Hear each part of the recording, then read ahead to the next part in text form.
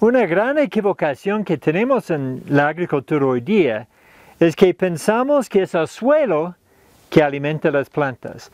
Pero en verdad este planeta se formó al revés.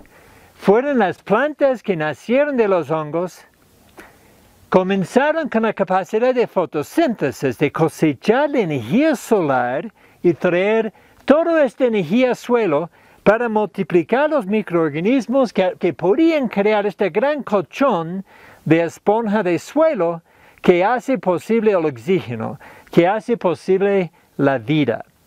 Entonces nuestro gran trabajo es devolver o convertir esta roca en suelo. ¿Cómo lo podemos hacer? Es con la chakra. Estamos aprendiendo cómo nuestras chakras se pueden convertir de fuentes de carbón a sumideros de carbón.